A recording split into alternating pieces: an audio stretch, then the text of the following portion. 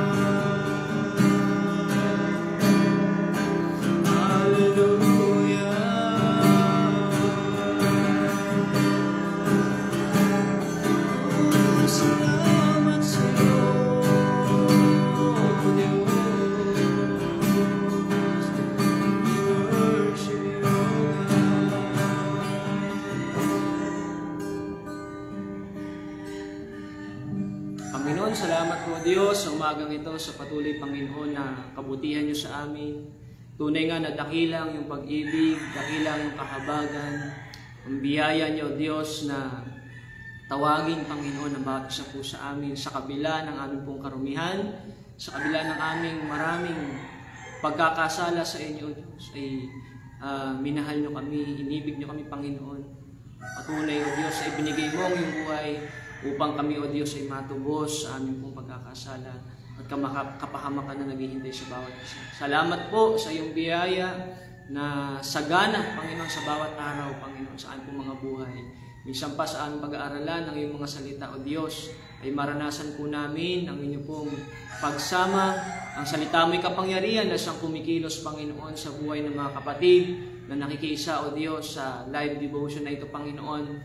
Dalangin po namin, O Diyos, na ah, buksan mo yung puso kaisipan ng bawat isa, O Diyos, at uh, anumang aming pag-aaralan, Panginoon, ay Ah, selyuhan niyo po ng inyong banal na dugo, Panginoon, nang walang anumang gawa ng kaaway na makakaagaw, Panginoon, sa anumang salita na aming pong pag-aaralan ngayong umaga, O Diyos. Amin pong sinasaway anumang mga gawa ng Diablo sa pangalan ng Panginoong Yesus.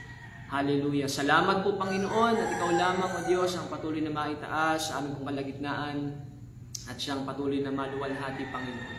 Sa inyo po lahat ng parangal, pasasalamat, pagsamba, at pagdakila sa makapangyarihang pangalan ng Panginoong Kristo na aming Panginoon, Diyos na mag, ah, tagapagligtas. Amen. Amen.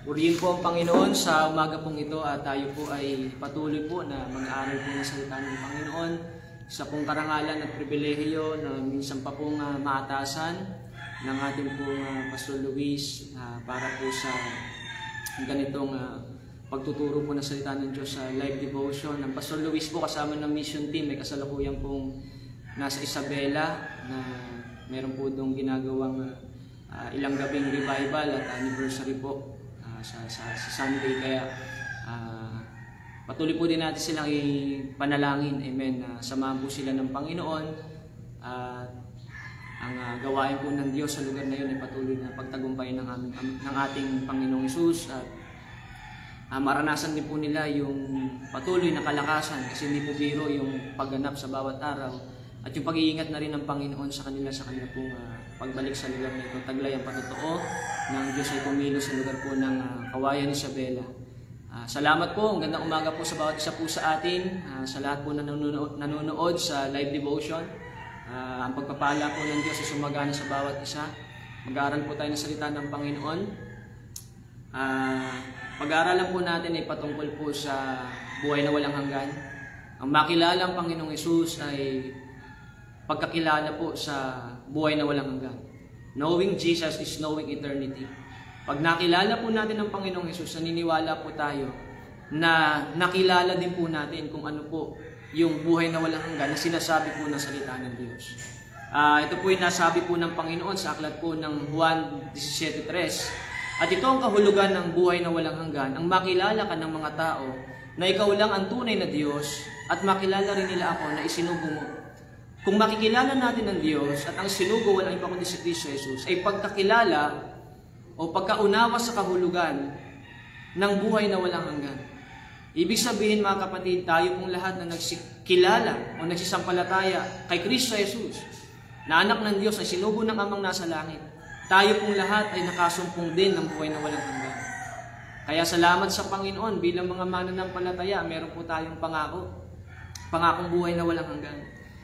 Dahil isa po sa malaking dahilan kung bakit marami pong tao ang hindi po lumalapit sa Diyos o hindi naniniwala sa Diyos, isa pong dahilan yan, yung kawalan po ng ah, kaunawaan patungkol po sa ah, buhay na walang hanggan. Ang alam po ng tao, ang buhay ay minsan lang. Kaya nga sinasamantala po ng mga taong wala sa Panginoon yung mabuhay dito sa lupa. Ang tawag po nila ay time is gold. Kaya habang buhay, kailangan pagbutihin dahil minsan lang ang buhay.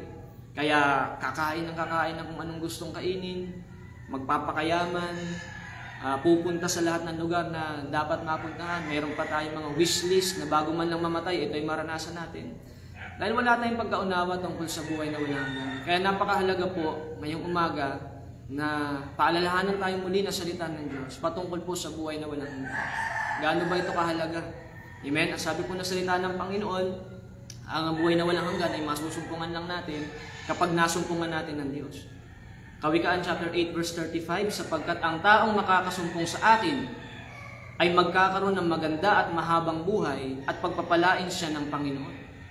Ngunit ang taong hindi makakasumpong sa akin ay ipapahamak ang kanyang sarili. Ang mga galit sa ang mga galit sa akin ay naghahanap ng kamatayan. Pag nasumpungan natin ng Panginoon, masusumpungan po natin ang buhay na mahaba. Ibig sabihin, buhay na walang hanggan. Maganda at mahabang buhay. At ang pagpapala ng Panginoon isa sa atin. Pero sa mga hindi po nakakasumpong sa Panginoon, ipinapahamak po nila ang kanilang sarili. At ang galit, ang mga galit sa Diyos ay naghahanap ng kamatayan. Kaya may mga taong galit sa Diyos, nakakalungkot, naghahanap po sila ng kamatayan. At sa mga hindi naman nakasusumpong sa Panginoon, ipinapahamak nila ang kanilang sarili.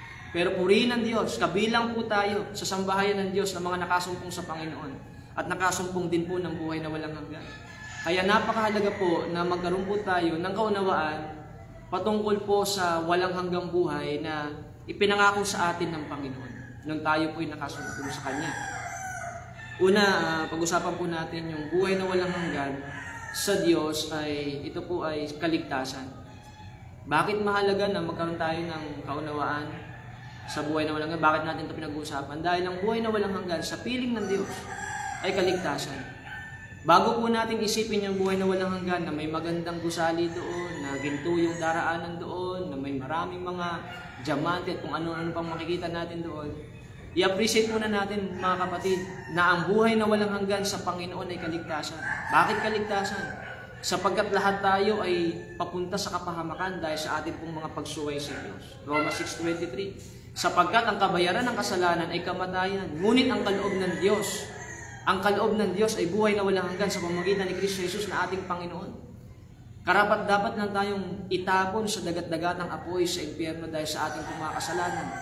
At walang anumang paraan na tayo po ay maligtas. Ngunit sa biyaya ng Diyos, sa magitan ng kanyang anak na si Kristo Jesus, na nag-alay ng buhay para sa atin, tayo po ay napatawad sa ating mga kasalanan at nagsitanggap tayo ng buhay na walang hanggan at hindi na tayo hatulan para sa kamatayan. Kaya purihin ng Diyos. Kaya ang buhay na walang hanggan, sa piling ng Diyos, mga kapatid, kaligtasan po yan. Yan na po yung pinaka-the best na pwedeng matanggap ng isang tao. Higit pa sa malaking kayamanan, higit pa sa magandang trabaho. Yung tayo po ay makasumpong sa Diyos at magsitanggap ng pangakong buhay na walang hanggan at hindi na tayo mapapahamak. Dahil ang buhay na walang hanggan sa piling ng Diyos ay kaligtasan. Yan po yung sinasabi ng John 3.16, John 5.4, 5.24, sinasabi ko sa inyo totoo. Ang sumusunod sa aking mga salita at sumasampalataya sa nagsugo sa akin ay may buhay na walang hanggan. Hindi na siya hatulan sapagkat inilipat siya sa buhay mula sa kamatayan. 3.36, ang sumasampalataya sa anak ng Diyos ay may buhay na walang hanggan. Ngunit ang hindi sumusunod sa Kanya ay hindi magkakaroon ng buhay na walang hanggan, kundi mananatili sa Kanya ang galit ng Diyos. Kaya salamat sa Panginoon, purihin ng Diyos. Amen? Dahil sa ating pananampalataya kay Kristo, meron po tayong buhay na walang hanggan. At ang buhay na walang hanggan sa piling ng Diyos, kaligtasan po yan. Panlang, pangalawa, napakahalaga po na magkaroon po tayo ng um, lubos sa pagkaunawa sa buhay na walang hanggan upang sa gayon maintindihan din natin na hindi nawawalan ng kabuluhan ang lahat ng ating mga pagpapagal sa Diyos. Amen? Maraming mga mananampalataya, mga kapatid, madali pong panghinaan ng loob. Madali pong sumusuko. Akala nila, dumadating sila sa ah, sa point ng kanilang paglilingkod na para bang wala namang kabuluhan yung ginagawa ko. Oh, kaya mga kapatid, baka naglilikat po tayo ng pagpapaalala sa ating mga sarili. Pag alam natin na may buhay na walang hanggan tayo sa Panginoon, alam natin hindi nawawalan ng kabuluhan yung ating mga pagpapagal. Sabi ni Jesus, mag-inpok kayo ng kayamanan sa langit. Kaya yung mga paglilingkod natin, alam natin hindi nawawalan ng kabuluhan. Sa ilalim ng kabanalan, pag-ibig, ng katapatan, ay ah, naniniwala tayo, lahat po ng ating ginagawang paglilingkod sa Panginoon ay ah, nakatala dyan sa langit na bayan.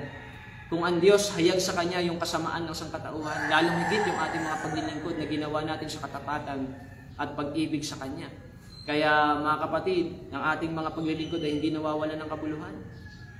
Di ba sabi ng 1 Corinthians 15.58, Kaya nga, mga, mga minamahal na kapatid, magpakatatag kayo at huwag manghina sa inyong pananampalataya. Magpakasipag kayo sa gawaing ibinigay sa inyo ng Panginoon. Dahil alam ninyo na hindi masasayang ang mga paghihirap ninyo para sa Kanya. Hindi masasayang lahat ng ating paghihirap, pagpapagal, sakripisyo, sinakripisyo mo man yung isang bagay para sa Panginoon. Amen? Hindi yan mawawala ng kabuluhan.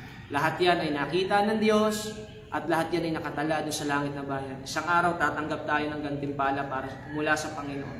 Sabi ng kanyang ah, salita, 2 Corinthians 5.10, sapagkat haharap tayong lahat kay Kristo para hatulan. Tatanggapin ng bawat isa ang nararapat na kabayaran sa kanyang mga ginawa. Mabuti man o masama, nang buhay pa siya sa mundong ito. So lahat ng ginawa nating mabuti, kung yung masama, merong ah, karampatang kabayaran, o lalo na yung mabubuting bagay na ginawa natin sa pananampalataya natin kay Kristo. Amen? Hindi yan mawawalan ng kabuluhan. Kaya hindi tayo panghihinaan ng loob kapag alam natin na yung ginagawa natin makabuluhan. Na naalala ko nga yung mga kapatid natin nasa abroad, yung mga OFW. Amen? Oh, nakakalungkot mga isipin, may mga ilan sa mga OFW dumadanas ng ah, physical abuse, dumadanas ng sexual abuse, dumadanas ng over ah, ah, yung sobra-sobrang pagtatrabaho. Ah, pinapapahirapan sila. Pero alam niyo, hindi siya pinanghinaan ng loob kasi alam nila may kabuluhan yung ginagawa nila. Ito'y para sa pamilya nila upang sila po ay masustain sa lahat ng kanilang pangailangan. Kaya kahit umuwi yan, babalik yan kahit mahirap. Kasi alam niya, walang kabuluhan. Hindi nawawalan ng kabuluhan yung kanyang pag, mga pagtitiis dun sa abroad. Usapin po yan dito sa mundo. Pero kung nagagawa yan ng mga taong nasa mundo, bakit hindi para sa Panginoon? Kung alam natin na tayo po ay Ah, kung, kung alam natin na hindi nawawalan na, na, ating mga paglilingkod sa Diyos, bakit tayo manghinaan ng loob?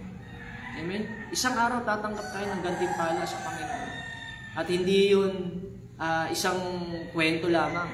Maraming mga salita sa mga talata sa Biblia nagpapatunay na meron tayong gantimpala kapag tayo ay nagpatuloy. Kaya wag po tayong panghinaan ng loob. Patuloy po tayong maglingkod sa Diyos. Amen? Ang sisira lang naman sa mga sa reward natin eh yung naglilingkod tayo sa ilalim ng kasalanan eh. Yung naglilingkod tayo nang hindi tayo nagtatapat. Kaya kung tayo ay nagtatapat, tayo ay lumalakad sa matuwid na pamumuhay, sa kabanalan, tayo nag naglilingkod uh, sa ilalim ng pag-ibig kay Kristo. O, hindi yan nawawalan ng kabuluhan kaya hindi tayo panghinaan ng loob. Kaya pag alam natin na hindi nawawalan ng kabuluhan yung ating mga paglilingkod dahil sa may buhay na walang hanggan, meron tayong goal, yung pangatlo. Nagkakaroon tayo ng goal. Mahirap po pag wala tayong goal. Yung nabuhay ka lang na hindi mo alam kung para saan ka. Tingnan nyo yun yung sports, lahat yan may goal. Pangit naman yung sports na walang goal. Kung pagputok halimbawa, karera, pagputok, pa! Oh, saan pupunta? Oh, kanya-kanya sila ng takbo na hindi nila alam kung saan sila pupunta. Kung sa basketball, bigyan mo ng bola. Eh, kung walang ring, kung saan sila pupunta, magdi-dribble lang sila pa, ikot-ikot. Pangit, di ba? Kaya, binigyan tayo ng goal ngayon. Yung pagkaunawa natin sa buhay na walang hanggan, meron tayong goal. Alam natin, hindi nawawalan ng kabuluhan yung ating paglilingkod at yun na yung magiging goal natin. Yun na yung magiging purpose natin. Bakit tayo maglilingkod ng may katapatan sa Panginoon. Colossus 3.1 Binuhay kayong muli kasama ni Kristo, kaya sikapin ninyong makamtan. Goal. Sikapin daw natin makamtan ng mga bagay na nasa langit kung saan naroon si Kristo na nakaupo sa kanan ng Diyos. Kung tayo daw po ay mga binuhay kasama ni Kristo, amen, tayo po yun, mga mananampalataya, mga kapatid sa Panginoon. Pag kung talagang tayo binuhay kasama ni Kristo, kailangan sikapin na natin makamtan ng alin, mga bagay sa lupa. Hindi, yung mga bagay na nasa langit. O kaya mga kapatid, ano po, nakakatuwa ang Panginoon kapag talagang tayo po ay na-transform na, nabigyan tayo ng bagong buhay. Nawawala na po yung pagiging materialis, materialistic, yung pagiging ganit, yung pagiging sakim natin sa maraming bagay. Tinuturuan tayo na magkaroon na ng bagong goal. Ano yun? Yung nasain natin, yung makamtan natin, yung mga bagay na nasa langit na kinaroroonan ng ating Panginoon. Doon ninyo ituon ang inyong isip at hindi sa mga makamundong bagay sapagkat namatay na kayo sa dati ninyong buhay. Wala na po yung mga dati, dati nating buhay na makamundo. Amen? Ang buhay ninyo ngayon ay nakatago sa nakasama si Kristo. Totoo po yan, pagka tayo po binigyan ng bagong buhay, liban na lang, hindi po totoo yung ating pananampalataya, ano po? Pag binigyan tayo ng bagong buhay, tinatabangan na tayo sa mga bagay ng mundo. Oo, nagtatrabaho, nag-aaral pa rin tayo. Pero sa loob natin, hindi na yun yung, yung talagang main goal natin. Ginagawa na natin dahil kailangan. Kailangan natin magtrabaho, kailangan natin yun. Dahil sa yun naman talaga sistema ng mundo. Pero hindi na yun yung satisfaction natin.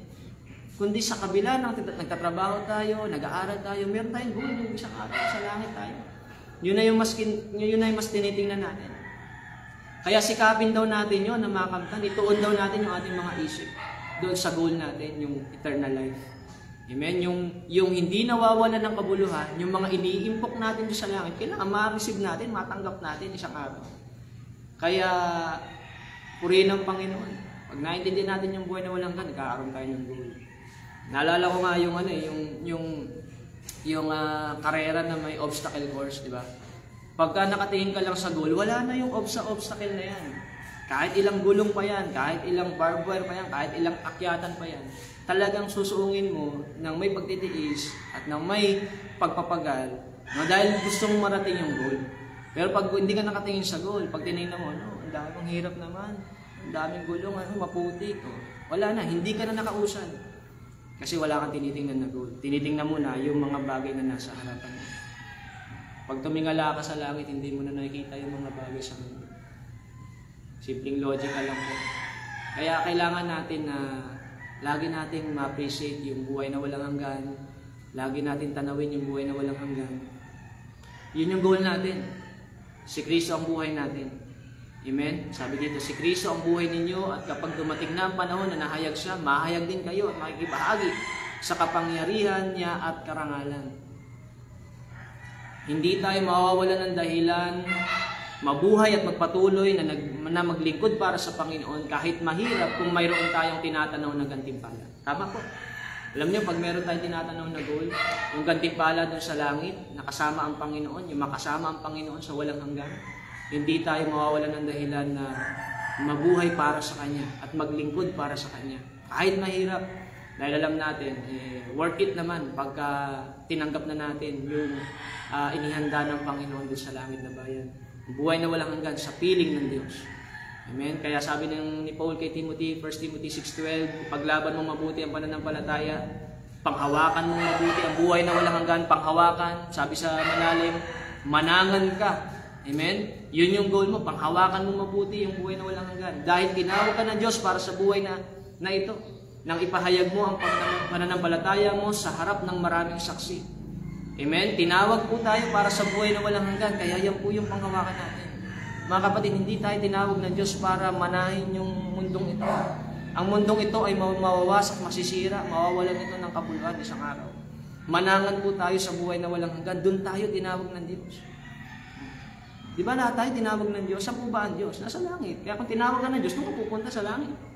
Kung ang Diyos natin ay nandito lang sa lupa, pag tinawag tayo ng Diyos, eh para lang tayo sa, sa mundong ito. Pero ang Diyos po natin ay nasa langit, may trono po siya doon, may langit na bayan. Tinawag tayo ng Diyos, papunta sa buhay na walang hanggan. Kaya, doon tayo, yun yung goal natin. Amen, mga kapatid. Huwag po nating ituon yung ating mga kaisipan sa para lang sa buhay na ito.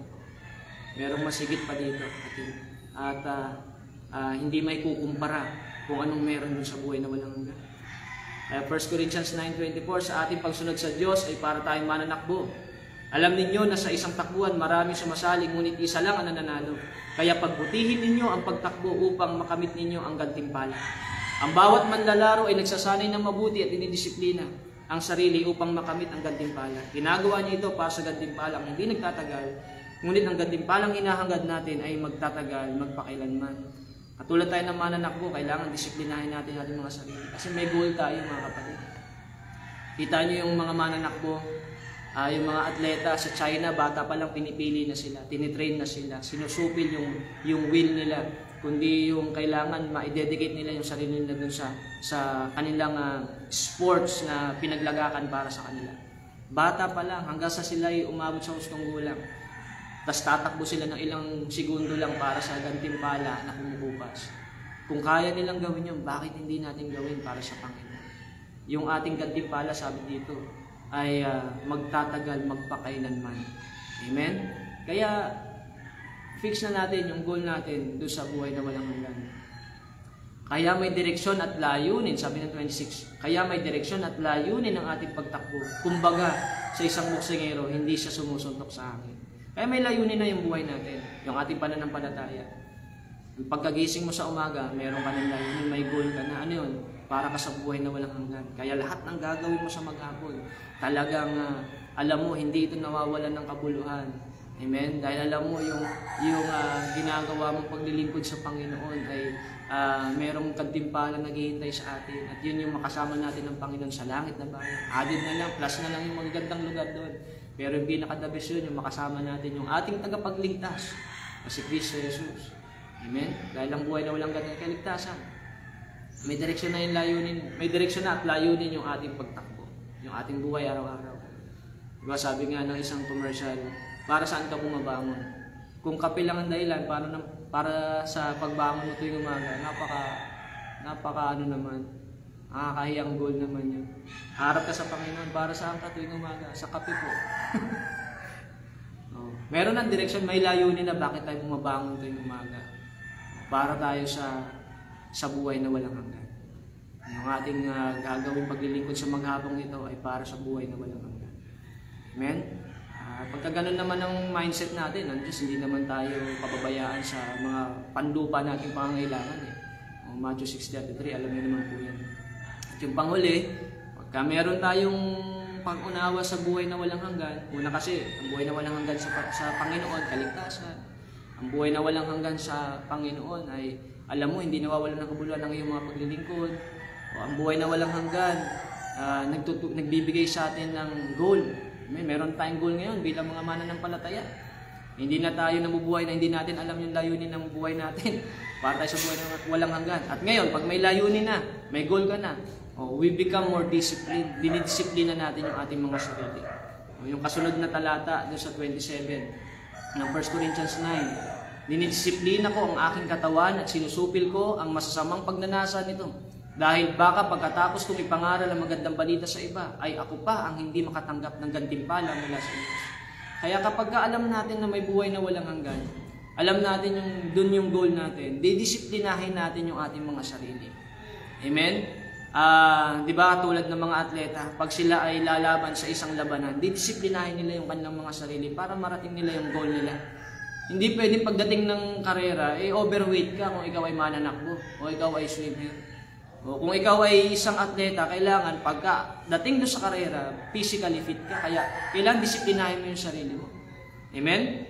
Dahil uh, hindi ka magtatagumpay doon sa iyong uh, pinasok na karera kapag ka hindi ka marunong, uh, pag hindi mo dinidisiplina ang iyong sarili.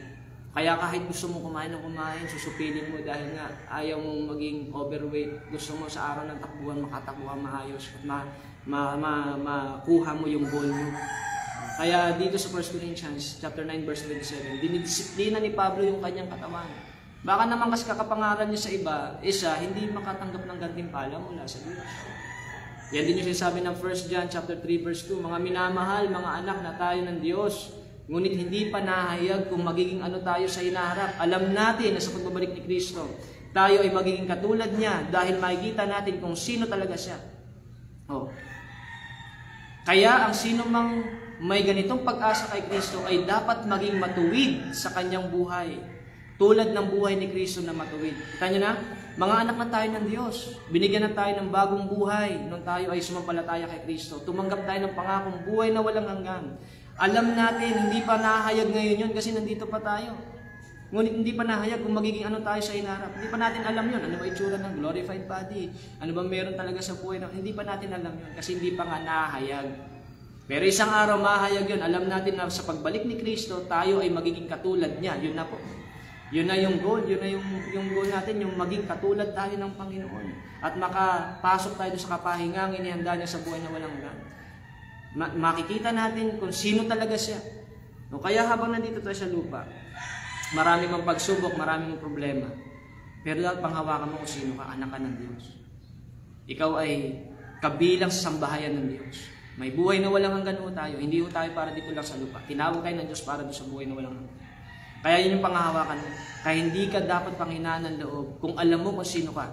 Hindi pa nahayag ngayon kasi hindi pa siya dumarating. Pero pagdating ng Panginoon, magiging katulad natin siya. Amen? At makikita natin talaga kung sino si Jesus. Kaya ang sino mga may ganitong pag-asa, kaya habang wala pa, hindi pa dumarating. Yun yung pag-asa natin. Amen? Hindi pa dumating eh, kaya inaasahan natin. Kung sino man may ganitong pag-asa kay Kristo ay dapat maging matuwid. Sa malalim, ang ganda na sinabi, naglilinis sa kanyang sarili. Dinidisiplina. Amen? Maging matuwid sa kanyang buhay tulad ng buhay ni Kristo na matuwid. Kaya purihin ang Panginoon mga kapatid. Meron tayong buhay na walang hanggan. Isang araw, darating ang Panginoon, susunduin tayo. Kundi man, datnan tayo ng kamatayan. Pero ang mahalaga, naglilinis tayo sa ating mga sarili. Namumuhay tayo ng matuwid. Amen? Dahil ah, ah, yun yung kalooban ng Panginoon. Walang sino mang makapapasok sa kapahingahan na marumi. Kaya kailangan alam natin, disiplinahan natin yung ating mga sarili. Kaya napakahalaga po na sa araw-araw, ma-appreciate po natin yung tinanggap natin pangako ng Diyos. Ang buhay na walang hanggan sa langit na bayan. Amen? Amen? Ang makilala ang Panginoong Yesus ay buhay na walang hanggan. Bakit mahalaga yung buhay na walang hanggan? Bakit yun yung pangako ng Panginoon? Kasi ang buhay na walang hanggan, kaligtasan po ang ibig sabihin niyan. Dahil tayo lahat ay pupunta sa kapahamakan. Pero dahil kay Kristo, na namatay para sa ating mga kasalanan at sa pananampalataya natin sa kanyang ginawa sa krus ng Kalbaryo, hindi na tayo hahatulan sa kamatayan, kundi nagsitanggap tayo ng buhay na walang hanggan. Pangako ng Diyos. Amen? O kaya lahat na ng ating mga paglilingkod, alam natin hindi nawawalan ng kabuluhan. O alam natin merong Diyos na matuwid sa langit na nakatunghay sa kanyang mga anak. Itinatala niya yung bawat mga paglilingkod natin. O, hindi yan nawawalan ng kabuluhan. Nag-iimpok tayo ng kayamanan sa langit. Kaya kung meron tayong kayamanan sa langit na na naghihin na na itinatala ng Panginoon, may reward tayo. Yun yung magiging goal natin, makuha natin yun, matanggap natin yun. Makapasok tayo sa kapahingang inihanda ng Panginoon, makasama natin siya ng walang hanggan. Kaya pag may goal tayo, o didisiplinahin natin yung ating mga sarili habang nandito pa tayo. Mga anak tayo ng Diyos, mga kapatid.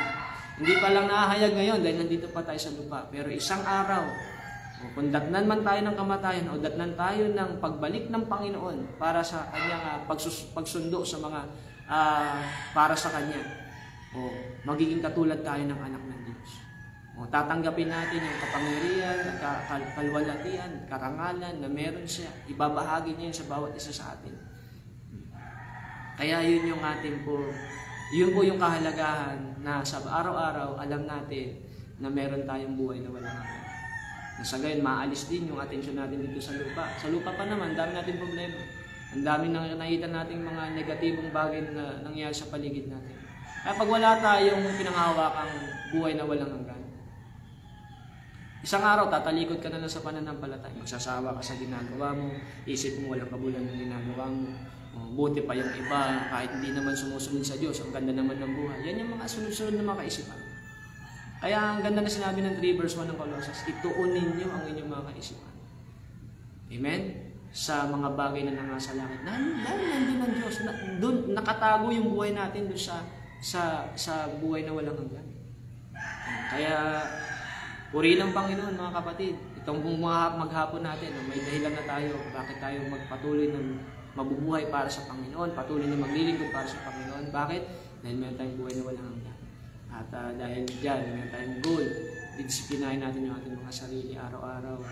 Nang sa gayon, hindi po mawalan ng kabuluhan yung ating tinanggap na ah, kaligtasan kay Kristo Jesus. Kaya salamat sa Panginoon mga kapatid. Nawa po na pagpala po yung bawat isa kahit Aming Ama, aming Diyos, salamat po Panginoon sa umagang ito. Sa patuloy Panginoon na ah, pagtuturo niyo Panginoon sa amin, O Diyos, patungkol sa ah, buhay na walang hanggan at kahalagahan nito Panginoon sa amin. Kaya salamat po O Diyos, minsan pa bawat salita na amin po na pag-aralan ay uh, selyo mo ng iyong banal na dugo ang bawat isa ay uh, naway na pagpala o Diyos sa patuloy na maging hamon ito Panginoon sa bawat isa na magpatuloy dahil alam namin hindi nawawala ng kabuluhan yung aming mga paglilingkod para sa iyo. Nagkaroon kami ng goal at uh, dapat po namin disiplinahin yung aming mga sarili araw-araw sapagkat uh, ayaw po namin mawala ng kabuluhan yung, yung ginawa mo Panginoon para sa amin o Diyos. Kaya salamat po Panginoon, pinagpapala po namin ang bawat isa na nakiisa o Diyos sa gawain ito. Pinagpapala po namin yung nag-organize Panginoon ng devotion sa tuwing umaga ah, mga pastor, mga kamanggagawa po namin sa TFC Sentro, Panginoon Lord God, pinagpapala po namin ang organisasyon Door Church, pinagpapala po namin ang aming ah, General Superintendent, Panginoon, Pastor Joseph Masaredo, gayon din pa pinagpapala po namin ang aming pong District Supervisor sa District 9, Pastor Luis Bailon, kasama ng mission team, kasalukuyang, nasa Isabela, nagmi-mission, Panginoon, para sa ah ah, ikalalakas at katitibay ng Iglesia, Panginoon. Kaya salamat po, O Diyos. At bawat isa po sa aming Panginoon sa maghapon pong ito ay patuloy mong ingatan at pagpalain. Maging ah, ah, sensitibo po kami, Panginoon, sa pinig ng banal na Espiritu, sa lahat ng dapat namin gawin at mga dapat namin iwaksik. Salamat po, Panginoon, minsan pa at ah, isang karangalan pribileyo na ginamit niyo, Panginoon, ang iyong abang lingkod upang makapagbahagi ng mga salita sa ikatitibay ng bawat mga kapatid po namin sa pananampalataya. Salamat po sa inyo po, Panginoon, ang lahat ng parangal, pagluwalhati at pagsamba. Ito po ang aming panalangin sa pangalan ng Panginoon Jesus. Amen. God bless po mga kapatid at mapagpalang araw po ang sumagana po sa bawat isa sa atin sa ito.